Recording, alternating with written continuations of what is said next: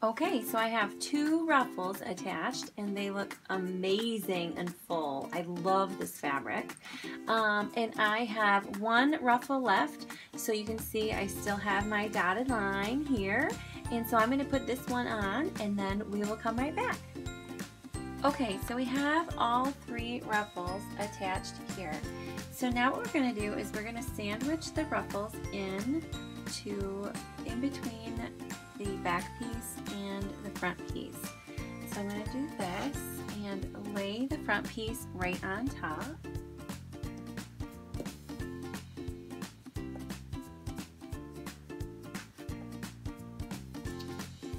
And I'm actually going to make sure that all of these ruffles are laying nice and flat or flat-ish. I mean, they're ruffles, they can't lay terribly flat. Flat as we can and then just making sure that they're not like folded. And then what I'm going to do is I'm actually going to pin them into place with the side of the leg.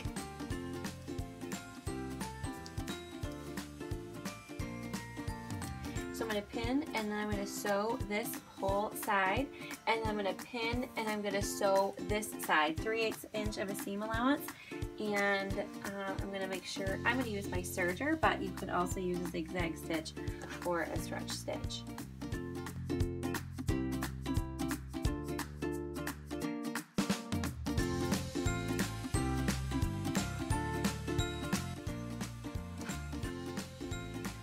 Okay, so I've serged both of the outer legs of the leggings. And now what we need to do is open up one of the legs so that the right side is facing upward like this. And then we're going to actually grab our pattern piece again and lay it on top. It, it, they go straight across, so it really doesn't matter which way it goes. And then what we're gonna do is grab our Sharpie again. Make sure we line it up with the bottom. And then we're gonna make our marks.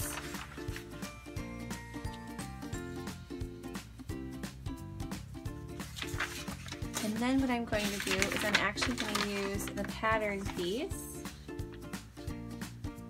And I am just going to use that to kind of give myself a guide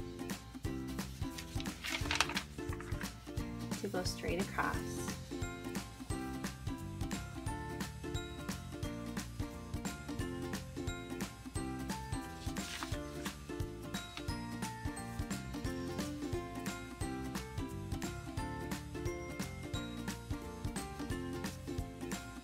Okay, so now that I have my lines drawn, what I'm going to do is I'm going to look at the pattern piece on here and I'm going to find my ankle ruffles. And so for the 12 to 18 months I need to cut three or six strips um, one and a half inches by 20 inches.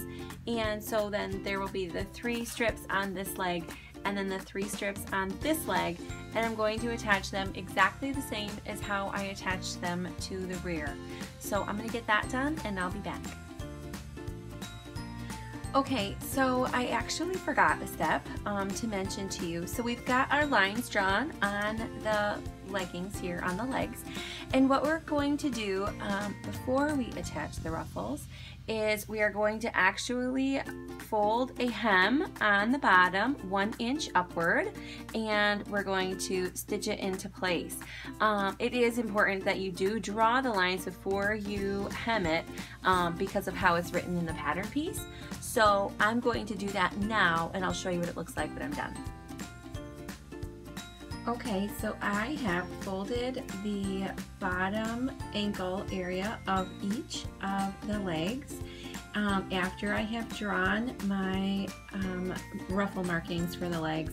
I folded it inward one inch and then I um, sewed it into place um, and I sewed this ab about an eighth of an inch actually it's almost like a quarter of an inch um, away from the edge. It's just how my presser foot lined up I did make sure to use a stretch stitch and as you can see it just looks like a zigzag stitch there. So now I'm going to attach all of my ruffles to the legs. Okay, so I got one leg of ruffles done. I still have to pull out all of um, my basting stitch in there but I just think it's so pretty. I just can't stop looking at it. Look at that ruffle deliciousness.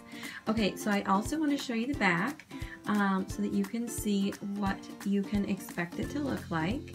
So here I've got my three lines of ruffles and I had actually used an elastic stitch on this one um, to add my ruffles and that's really my favorite because I mean check that out there is just so much stretch there so then when I go to remove my basting stitch what I'll do is I'll actually stretch it just like that and then all of my basting stitches will um, kind of pop a little bit and then I can easily just take my seam ripper and just pull them right out Oh, look at those ruffles. All right, I'm gonna go to the other leg now.